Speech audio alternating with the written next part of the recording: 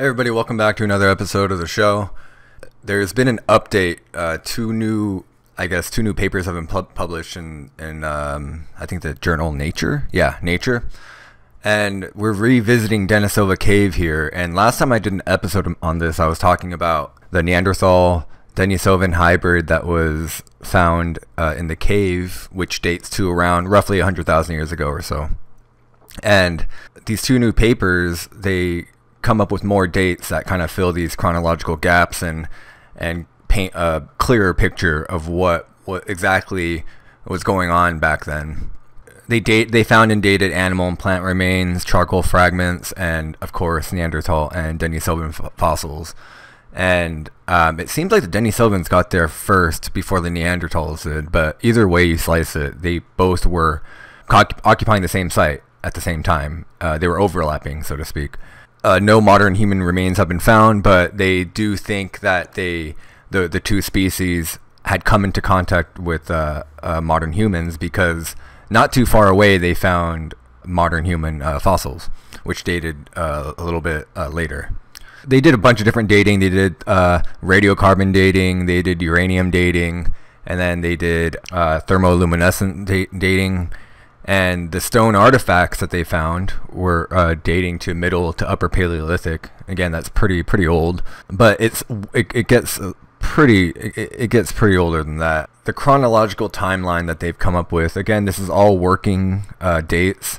There's still a whole nother section of the cave that they haven't even excavated or looked at yet. All this information comes from uh, two uh, two different parts of the cave that have been uh, pretty thoroughly uh, looked into they believe the timeline of the cave starts well over 300,000 years ago and was in, well in use up until 20,000 years ago, which is really interesting because Neanderthals were thought to have uh, died off about 40,000 years ago. So that's a really interesting wrinkle in this uh, mystery here.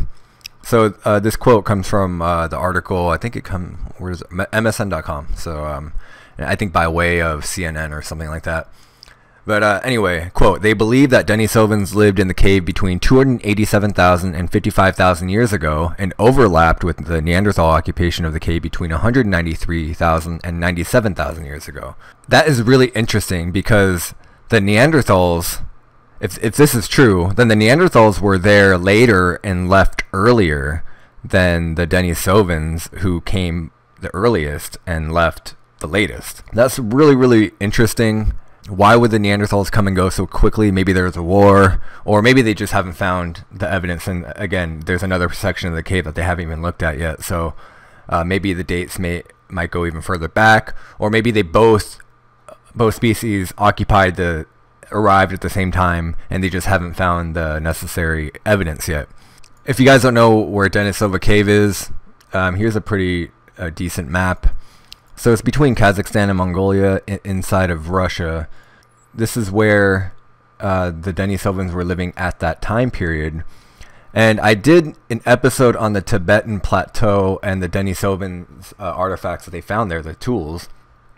And it's very interesting that, because I, I mentioned in that last video, that the Denisovans migrated from Siberia for whatever reason they crossed the Tibetan Plateau in order to get to what was heavily speculated, what's now Polynesia and New, uh, New Guinea and Australia, which explains why the those people there in New Guinea and, and Australasia, I suppose, have a contingent of Denisovan DNA in their uh, in their in their genes in their genetic record. Again, the mystery is out uh, why would they uh, cross the Tibetan Plateau, which is unforgiving in in its altitude and its the bitter cold there, and they were up there long enough to have left tools there.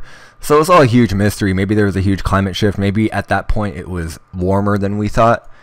Uh, but either way, um, it, it, again, th this kind of elucidates what was going on. These dating techniques that I mentioned earlier were applied to bone, tooth, and charcoal fragments and cave sediments. And Tom Higham, he's the co-author of the study from the University of Ox Oxford. He's the guy who was in charge of the radiocarbon accelerator unit. He says it's the first time we were able to confidently assign an age to all archaeological sequence of the cave and its contents. So they're pretty set on this. Now, if you want to play devil's advocate here, you could not accept any of this evidence and any of this dating because a lot of people don't believe it's reliable. I don't know either way. I guess those people could be right. But I'm just trying to report what the scientific community has spent money on and researched on their own time and these are this is what's being reported. So again, maybe it could be fake, but I don't know. I think a lot of this is compelling and it it it's hard to deny the fact that those people in Austronesia have this blood in them and this theory that the Denisovans crossed the Tibetan plateau into Austronesia is again like I said very compelling and and with in light of all of this it makes a lot of sense. Separately, dating of the Denisovan fossils show that the oldest fossil was there 195,000 years ago. The young, youngest Denisovan fossil was between 76,000 and 52,000 years ago. And pendants and needles of bone were dated between 49,000 to 43,000 years ago. Whether the, these pendants and needles were, were made by the Denisovans, uh, it is entirely possible. And if it is true that they did, the Denisovans did make those, that, the, that type of jewelry, then that that means they were around semi recently. I mean, 43,000 years ago, when you look at the scope of how old the Earth is, is really just a drop in the bucket, right? So maybe there's even, well, I'm not going to go that far, but maybe they are living among us and we just can't see them. Stone tools allow for the earliest suggestion that the ancient humans occupied the cave 300,000 years ago. So that's why the cave is dated to as early as 300,000 years ago, is because um, the bone and the actual Denisovan and Neanderthal fossils, they don't date to that old. But obviously the tools do. So someone back then, 300,000 years ago, must have made the tools, right? I mean, they didn't just fall from the sky. So this cave must have been well known in their community for it to have been in use probably either on and even if it is on and off for 300,000 years, that's still significant. Um, and of course, it'd be way more uh, mind blowing if it was just 300,000 years straight through up until 20,000 years ago. So the fossils show it's more likely that Denisovans began their occupation of the cave 200,000 years ago, with Neanderthals arriving soon after. So again, this is all before exploring the entire cave. So they're kind of jumping to conclusions here, but this is again up until this point, all the evidence up until this point.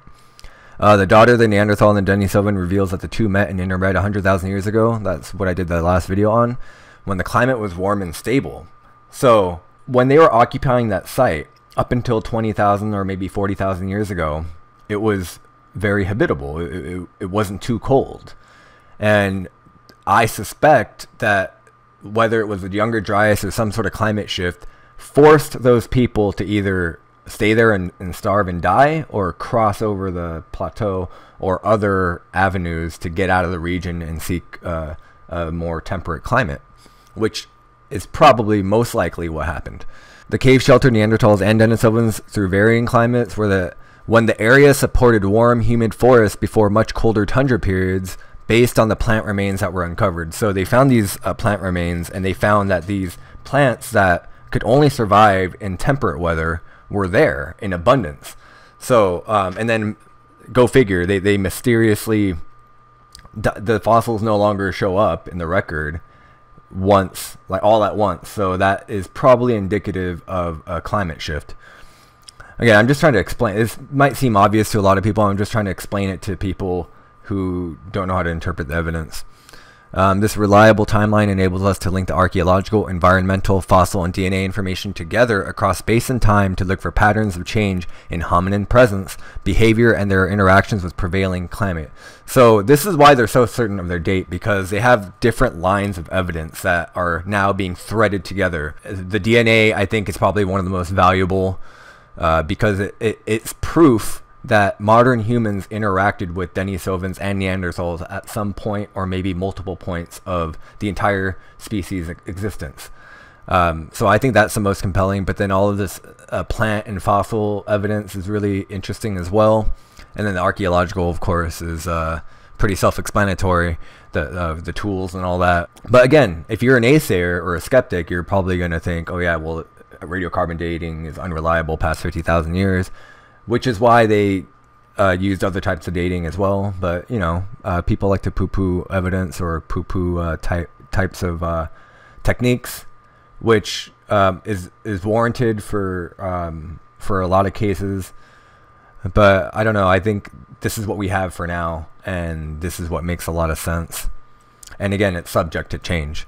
Yeah, the dating techniques, radiocarbon, uranium series dating, uh, stimulated luminescence dating. Sorry, I think I said thermal luminescence. Uh, I meant stimulated luminescence, um, which is determining uh, when quartz was exposed to light, with genetic ages of the fossils determined by mitochondrial DNA extracted from them.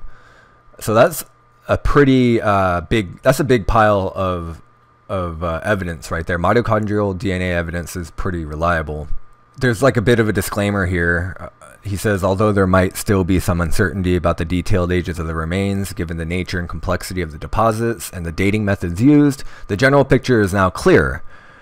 Uh, the general picture. So um, now they have something to work with, whereas before there was no candle in the dark, so to speak. They they were just sort of stabbing in darkness just to see what was going on. And now that they've built, they sort of built this case, then they could kind of make the argument that there really were people, some hominins, and maybe even humans. We don't know yet because again, they haven't dis- they haven't discovered anything in the unexplored parts of the cave.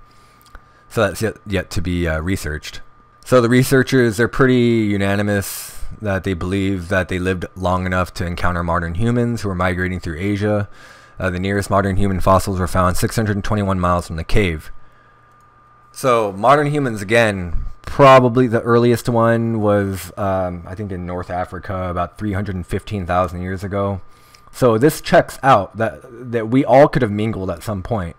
And we did because there are people alive right now. I don't know how many times I'm going to say that, but there are people alive right now with Denisovan uh, DNA, and there's some mystery DNA that some people have as well. So it might be yet another undiscovered uh, humanoid species that has yet to be discovered. Um, so the Denisovan ancestry in living Australian Aboriginal and New Guinean people could therefore be the result of direct interbreeding between their ancestors and Denisovans. So yeah, here's uh, previous excavations have almost entirely been carried out in the main and east chambers of the cave, and they'll continue their study in the third chamber, which is the southern chamber.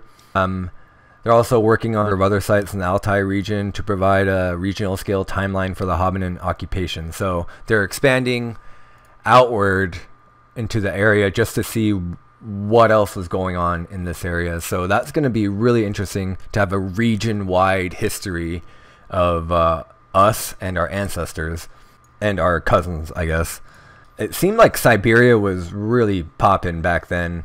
It must have been pretty warm, and it must have had fresh water and all the all the things necessary to have uh, some sort of either civilization or a strong enough population that could live on its own.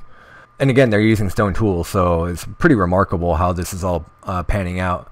Another thing is about this Denisova cave that was brought to my attention was if you're a conspiracy person or if you read up on a lot of uh, Gnostic or um, uh, ancient uh, sources and some dubious, some not, but there are people out there who believe that there are beings, either goblins or myth- mythical beings, or even he- uh, uh, an offshoot of humans that live underground. What's better known as a hollow earth theory. Um, this might be some sort of um, origin point where those rumors uh, come from, and perhaps the, the, the a cave like Denisova Cave, which is pretty cavernous and big, and if you go to Afghanistan and parts of the Middle East and even Israel, there are all kinds of networks of underground caves that are that stretch miles and miles wide. What's not to say that that's also happening at Denisova Cave in in the Altai region. So if that's the case, then if you're um, if you're a human that somehow experienced those caves, then word of mouth would kind of travel fast, right? Maybe uh, next thing you know, you play a game of telephone about these caves and that there are people living there, and then that spreads to one person and one community to another and another community. And next thing you know, you have goblins living in the Hollow Earth. And I don't know. I, obviously, I don't know. This is all speculation, but it that it would make sense that that's where at least some of the legend comes from. Um, let's take a couple of uh, pictures and then I'll get out of here. So this is the entrance to the cave, or one of the entrances, and it looks pretty um, like your standard cave. I, I, I feel like it could be overlooked pretty easily if you didn't have a trained eye and if there were uh, overgrowth in front of the entrance. Um, I think this is one of the bone pieces that they were uh, uh, carbon dating, and this is just a Google Earth image of Denisova Cave. So yeah, anyway, I just thought I, I would update you guys on, on this, and remember, it, it's ongoing, so I'm pretty sure in a few mo- more months, especially once they um, continue studying the southern chamber, more and more evidence and more and more uh, facts and discoveries will come out. So stay tuned, and I'll see you guys later.